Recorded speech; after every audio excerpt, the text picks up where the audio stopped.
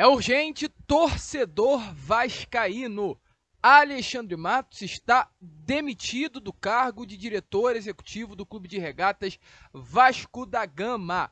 Além dele, também, nestes últimos dias, um outro profissional, no caso, Gilmar Ottoni, coordenador de performance do Vasco da Gama, que veio mediante a um pedido de Alexandre Matos, também foi desligado do cargo.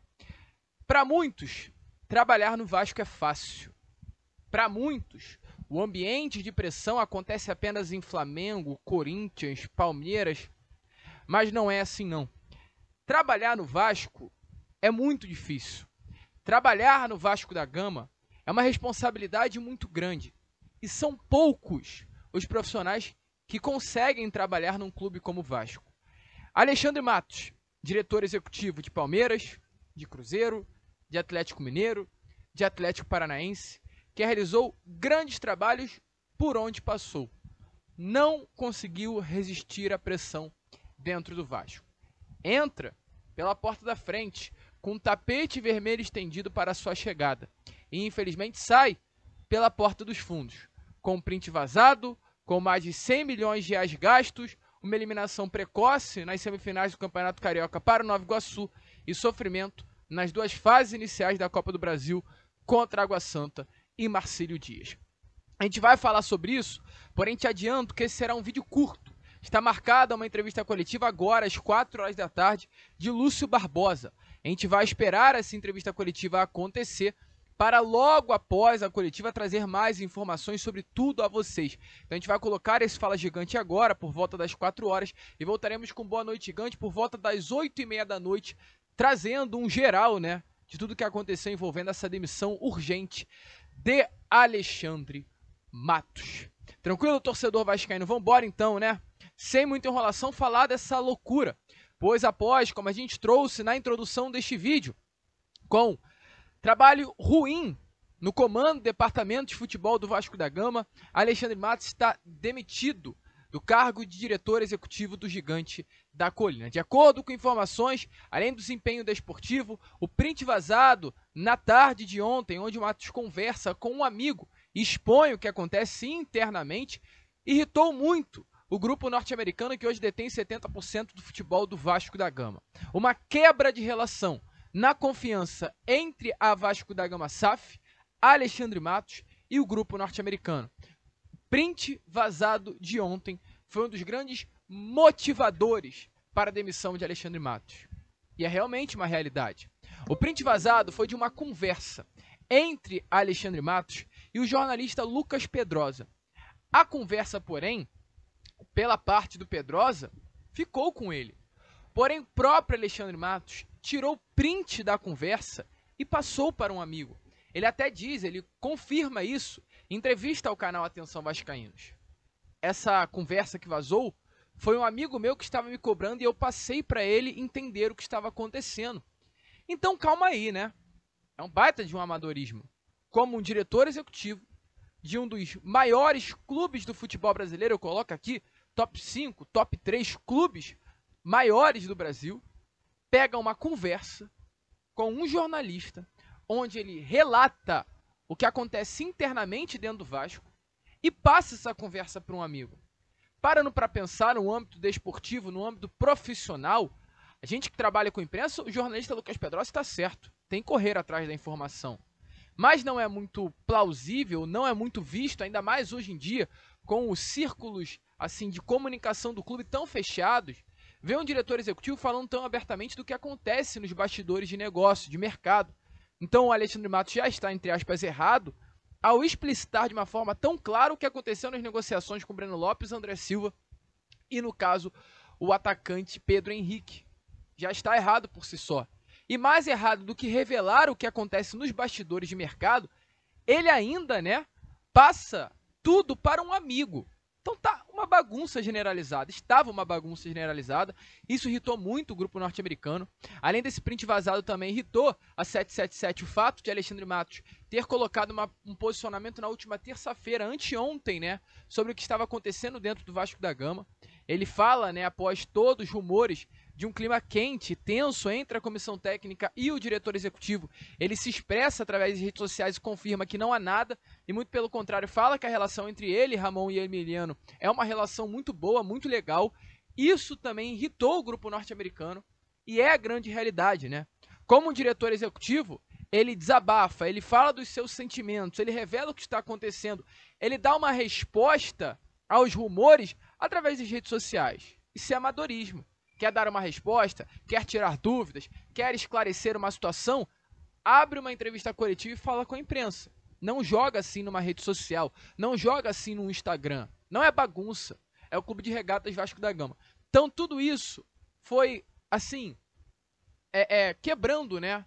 Quebrando a relação entre Alexandre Matos e 777 Partners. O Alexandre Matos também, automaticamente, teve uma relação não tão boa com o grupo norte-americano. Isso ficou nítido, gente. Isso foi nítido.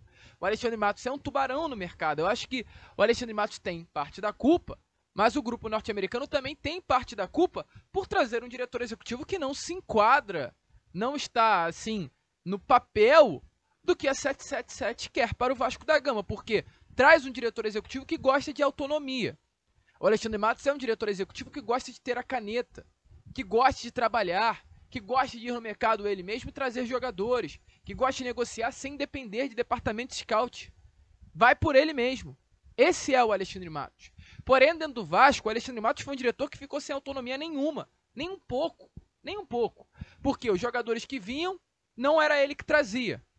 Pois os jogadores que vinham passava por o departamento de scout do grupo norte-americano ou vinha diretamente de uma opinião do Ramon Dias e do Emiliano. Quando o Alexandre Matos tinha nomes que gostaria de trazer ao Vasco, tinha que passar por Ramon Emiliano e tinha que passar também pelo grupo norte-americano. Então ele estava muito numa caixinha, muito preso. A gente falou, né, em vários momentos aqui no nosso canal. O Vasco acertou na contratação do diretor executivo Alexandre Matos, mas o enclausulou. O colocou dentro de uma caixa, dentro de um aquário. E um diretor executivo como Alexandre Matos não sabe trabalhar dessa maneira. E acho que tem muito disso. O trabalho de Alexandre Matos foi horroroso, foi ruim sob o comando do Vasco da Gama em diversos aspectos.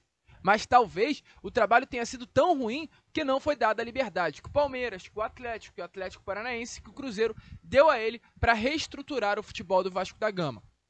Ele reformulou o departamento alguns determinados aspectos, sim, né, é importante falar. Ele trouxe o João Marotoni, que foi desligado na última segunda-feira para o cargo de coordenador de performance. Ele também trouxe o Rodrigo Pelaipe, que veio para o cargo de supervisor de futebol. Além disso, também ele demitiu o Carlos Brasil e trouxe o Rodrigo Dias para assumir o cargo de gerente executivo das categorias de base. Então, Alexandre Matos ele fez uma reformulação no futebol. Não se sabe o que estará acontecendo é, é, dentro dessas, desses cargos, né? Não sabemos se o Rodrigo Pelaipe irá continuar. Pelo menos até o momento na gravação desse vídeo a gente ainda não tem informação. A gente não sabe se também o diretor Rodrigo Dias permanecerá no cargo de diretor das categorias de base. E aí fica essa dúvida, fica esse questionamento. Além dessa reformulação no departamento de futebol, Alexandre Matos foi responsável por gastar 30 milhões em Adson, 42 milhões de reais em João Vitor, gastar um empréstimo com compensação financeira por Robert Rojas, gastar também pela contratação por empréstimo de David, com uma cláusula com obrigação de compra caso David dispute 60% das partidas com a camisa do Vasco, no valor de 16 milhões de reais. O Vasco terá que pagar 16 milhões de reais ao Internacional se durante todo esse período o David disputar 60% das partidas com a camisa do Vasco da Gama e tudo indica que irá. Tudo indica que no ano que vem o Vasco terá que pagar 16 milhões de reais pela contratação do David, que sinceramente eu acho uma grande loucura. Acho um jogador legal, maneiro, para compor elenco. Agora não vale 16 milhões de reais nem aqui, nem na China, nem na Tailândia, nem na, nem na Rússia, nem na Guiana Francesa, meu amigo. David não vale 16 milhões de reais, um contrato muito mal amarrado pelo ex-diretor executivo Alexandre Matos. Contratou Keller, contratou Pablo Galdamez, pagou por 30 milhões de reais o volante argentino Juan Esforça, contratou Vitor Luiz e contratou o Cleiton Silva por 16 milhões. Contratações que ultrapassam a casa dos 115 milhões de reais. Esse foi o valor que Alexandre Matos pagou em quatro jogadores: Cleiton, João Vitor, Adson e Juan Esforço. Dentre esses quatro, apenas um é titular, e assim, nem absoluto, na minha opinião, que é o João Vitor. É um titular, mas que é titular hoje porque foi pago caro. Talvez, se não pagasse caro, o Ramon continuaria com dois zagueiros e colocaria o Medel e o Léo. O Watson não é titular, o Esforça não é titular e o Cleiton Silva não é titular. Então o Matos gastou 30 no Watson, 30 no Esforça e 16 no Cleiton. 76 milhões de reais em três jogadores que não são titulares. Meu amigo, se isso é um trabalho bom, eu não sei o que é trabalho ruim. O trabalho do Alexandre Matos foi ruim à frente do comando do Departamento de Futebol do Vasco da Gama. Foi ruim. A expectativa depositada foi muito grande acerca do diretor executivo e foi um trabalho completamente frustrante. Um trabalho que, é claro, automaticamente frustrou o torcedor. Um trabalho que dentro de campo foi ruim pelo, é, é pelo desempenho esportivo, né? Sofrer para passar por Água Santa, sofrer também para passar por Marcílio Dias e automaticamente também, né? O que causou a eliminação contra a equipe do Nova Iguaçu nesse último domingo, internamente resvalou de uma forma ruim. Alexandre Matos caiu nas semifinais por montar um elenco ruim para o Vasco da Gama. Matos chegou com o status de estrela, maior diretor do futebol brasileiro. Muitos de nós falamos sobre isso e foi durante grande parte. Na minha opinião, depois desse trabalho à frente do Vasco, caiu muito o status dele no futebol do, do Brasil. Fez contratações supervalorizadas, trouxe nomes contestáveis, Kehler, David, Vitor Luiz, Galdamez e vários outros. Não resolveu as lacunas que tinha no elenco, piorou o plantel. Hoje o elenco do Vasco de 2024 é pior do que o elenco que terminou 23. Não foi capaz de superar o trabalho ruim de, de Paulo Brax. O trabalho de Paulo Brax foi ruim. Não foi bom. Não adianta você vir aqui agora e falar que o trabalho de Brax foi bom, porque não foi. Não se engane. O trabalho de Paulo Brax foi ruim. Mas o, o Matos, perdão, conseguiu piorar ainda mais o trabalho de Paulo Brax. Cobranças públicas por reforços. Cobrança pública do treinador também por reforços atrito com a comissão técnica e demitido, com muita promessa de bom trabalho, promessa de resultados, promessa de bons reforços, promessa de um Vasco competitivo e absolutamente nada entregue. Pouquíssimo resultado. Alexandre Matos vai. E Alexandre Matos, infelizmente, e eu falo aqui com pesar, infelizmente, não deixará saudades nenhuma para o torcedor vascaíno. É sinistro, é surreal. O Vasco suga as energias de qualquer um. Suga a energia do torcedor, suga a energia de treinador, suga energia de reforço e suga a energia também do seu antigo diretor executivo. Alexandre Matos não é mais o diretor executivo do Clube de Regatas Vasco da Gama. Deixa aí a sua opinião nos comentários. Quatro e meia estará acontecendo essa entrevista coletiva de Lúcio Barbosa. E é claro, a gente estará trazendo ainda mais informações no Boa Noite Gigante. Fique atento, fique ligado. Informação urgente: Alexandre Matos não é mais o diretor executivo do Gigante da Colina.